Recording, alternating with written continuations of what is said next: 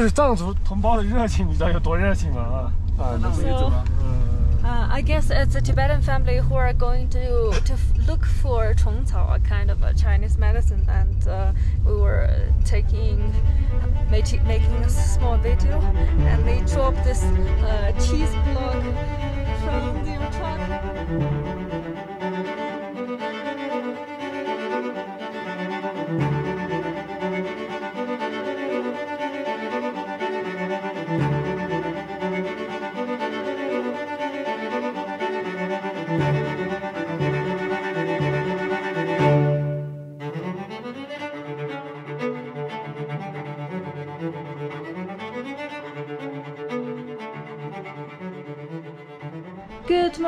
internet, welcome to my channel season 2 Unseen China. Today I am in Lhasa and starting from today I will start an amazing road trip with two of my friends. You will see them in a minute. But first of all I want to show you the strong sunlight from the city of sunshine. So uh, you might have already seen that those are my two friends that will be traveling Hi. together. Uh, Zhao, the Chinese vlogger. I'm a driver.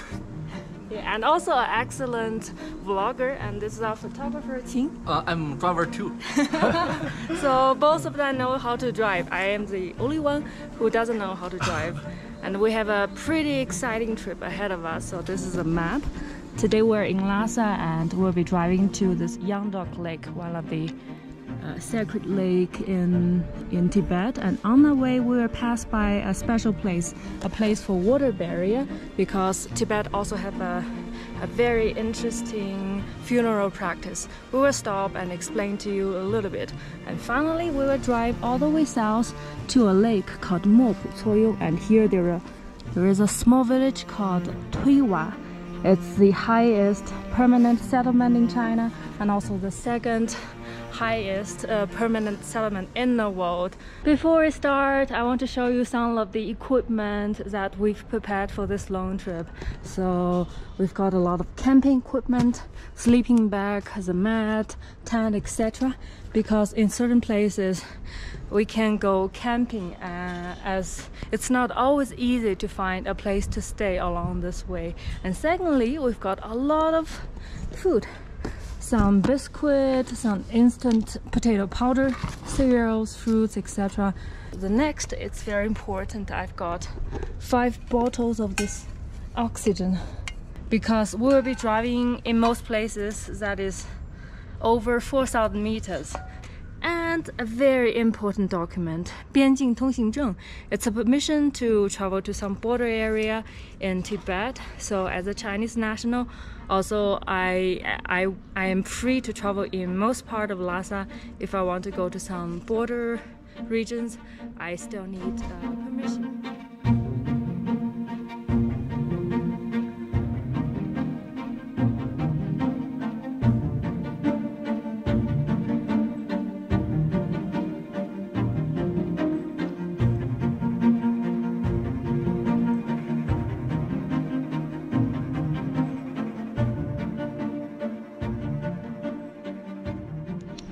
We are walking slowly towards this water burial place.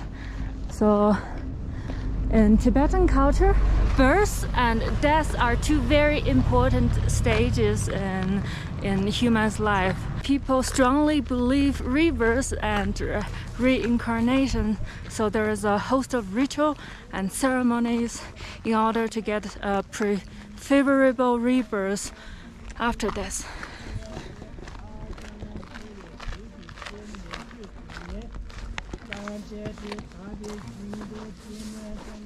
There are different uh, funeral tradition in Tibet. Uh, the most popular ones has been, for example, sky burial, and water burial, stupa burial, fire burial, and also tree burial.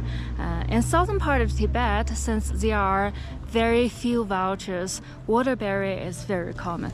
This is just one of those water burial place. Uh, that is Jingfan. Jingfan means uh, prayer flag. I think probably there is a funeral going on because the man over there he has been chanting for a while and there are some fires. So I guess probably this is also a uh, crema- cremation process. This is the famous Yalu Zangbujiang Yarlung Tsangpo River. This river is also known as Brahmaputra in India. So this is the upper stream of that river. It forms from the mountain water, uh, from the mountains, and, and flows gradually across Tibet and India, Bangladesh, and finally to Indian Ocean.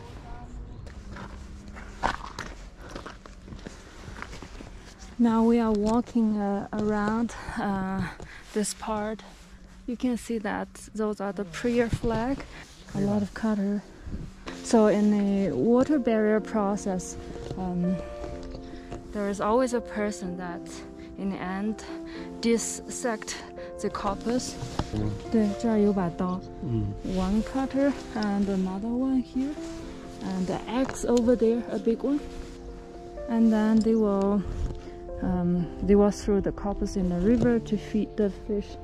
There are different explanations. So some one explanation that many Tibetans don't eat fish because they are sacred. So um, the when when a corpus is eaten by, for example, vulture or fish, it helps the dead person to reach the heaven faster.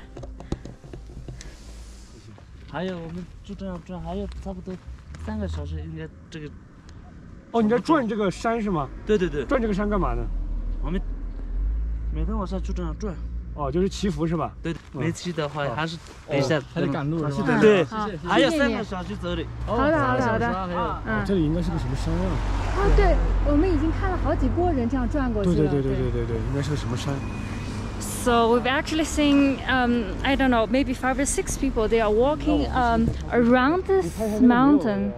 On the other side of the road, on that big rock, there are a lot of white ladders. Uh, in Tibetan culture, they call them tianti, which means sky ladders.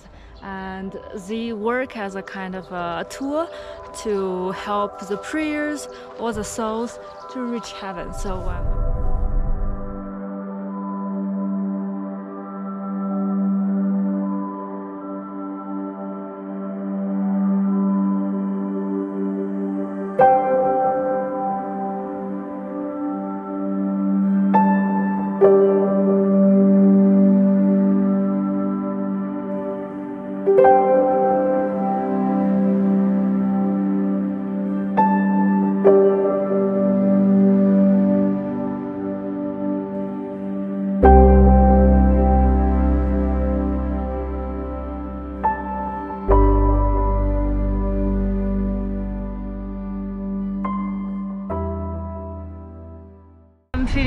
week. Our driver is uh, quite okay so far.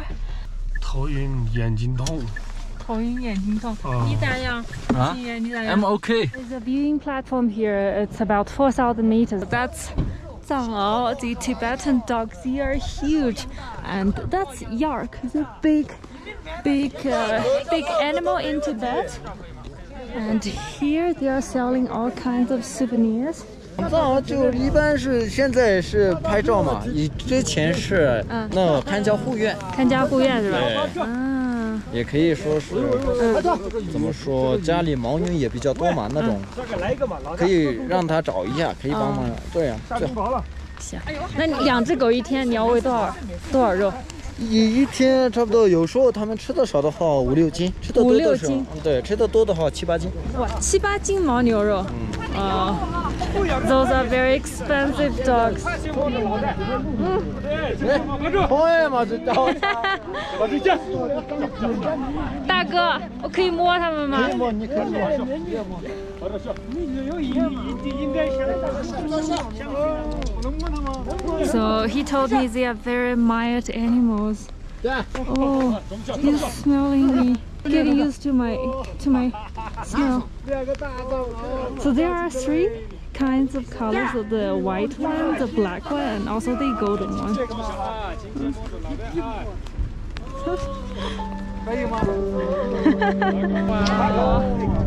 Although they are very big, but they are very friendly animals.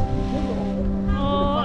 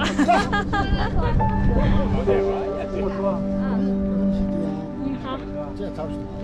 Uh-huh. 热情，你知道有多热情吗？啊，啊，那我们也走了。嗯。 Uh, I guess it's a Tibetan family who are going to to f- look for chongcao, a kind of a Chinese medicine, and uh, we were taking making making a small video, and they dropped this uh, cheese block from their truck. It's not really easy to travel to, to Tibet because of this climate. It's some of the most inhabitable environment in the world. So at about 5,000 meters, the oxygen level is only 50%, for example, compared with that in Shanghai. But the landscape is just too amazing.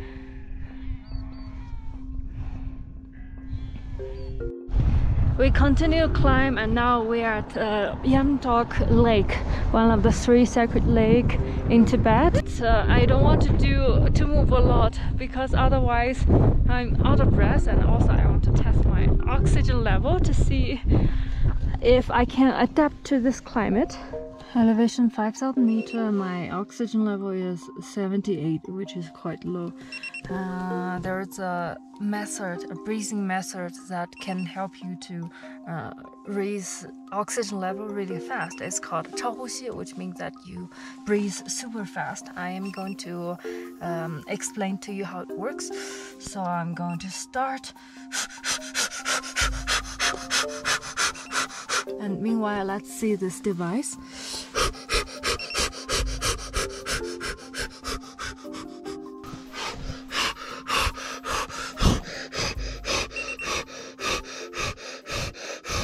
It works. Remember that you find it hard to breathe, just breathe super fast.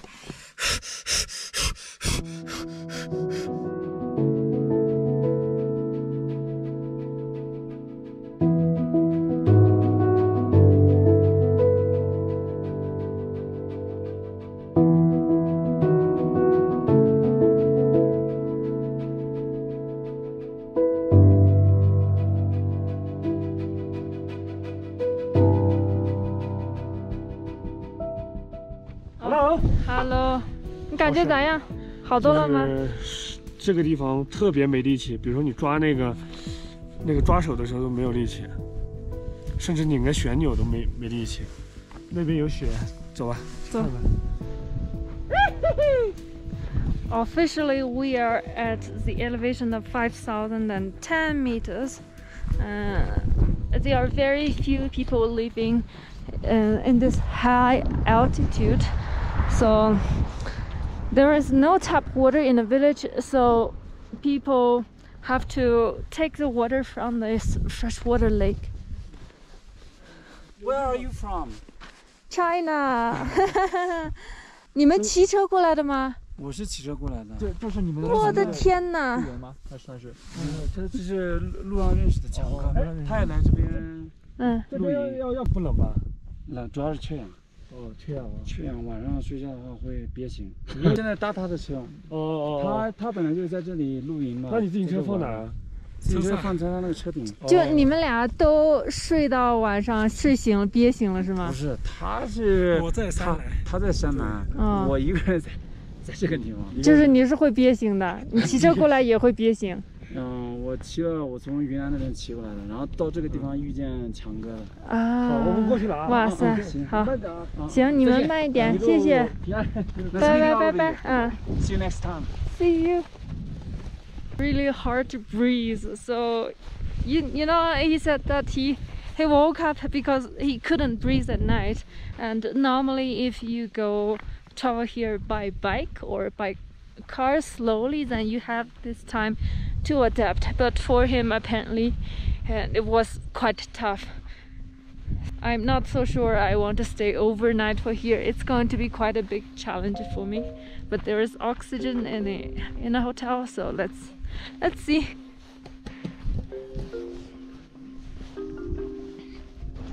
This feels like the end of the world. Look at those big chunk of ice thick ice. And that's a lake. And the, the cloud is just so low. And there are some birds.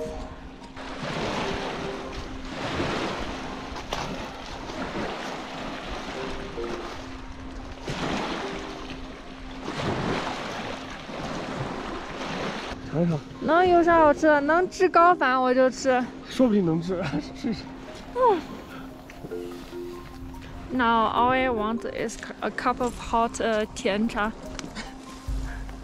Yeah, Ice cream。ice cream, but nothing special. But the landscape is just amazing. The environment is so harsh that it's even very hard for plant to grow here. There's no single tree.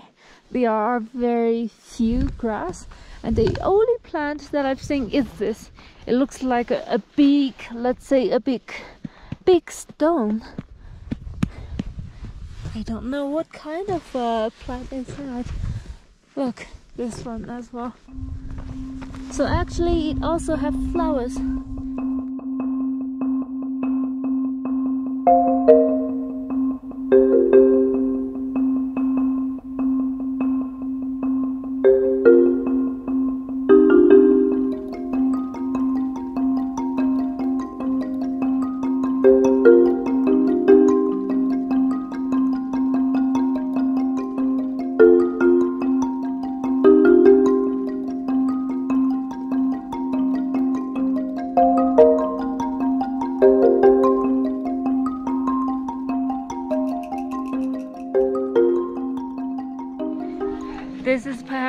highest hotel in the world. It's called Hotel 5070.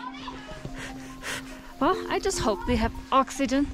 They have oxygen in a hotel room.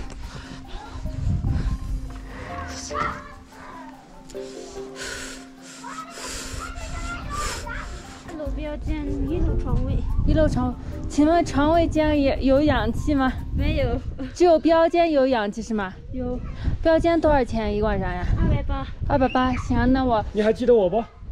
我来过的。我看你看这里面风景多好啊！Wow, I'm out of breath. So this hotel room is actually quite nice, but almost no people is here. 是这里是吧？哦，这里可以吃饭。老板，这个氧气怎么用呀？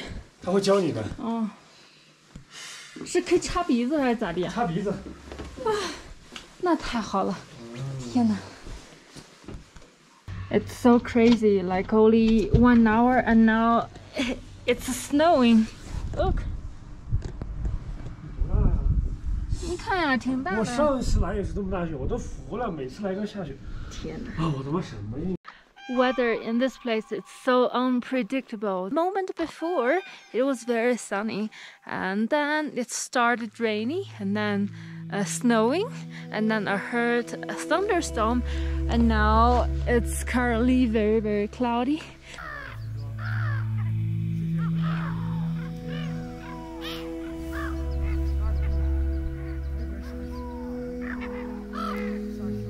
Th- Those 大 are 家没有觉得 reasons, 这特 dried 别美 reasons. 吗？大家可以录个屏啊。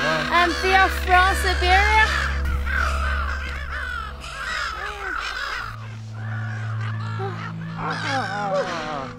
Eh, 哎，他感觉你很友好，他就过来了，对，很累的，扔这个对不对？累死我了。It takes a lot of effort to to throw just a little bit of the reason. We've just ordered some food. I've ordered the chicken. It will take a while, and they've ordered some fried rice. I'm actually quite happy that we have some food here. You have to transport anything. I think they produce nothing, but for example, dairy and meat. 这里吃一碗蛋炒饭，对比在那个城里面吃龙虾鲍鱼还香啊！对，这边实在是太不容易了。你看外面什么都没长。 Very delicious。 所以说它就很咸，你发现没有？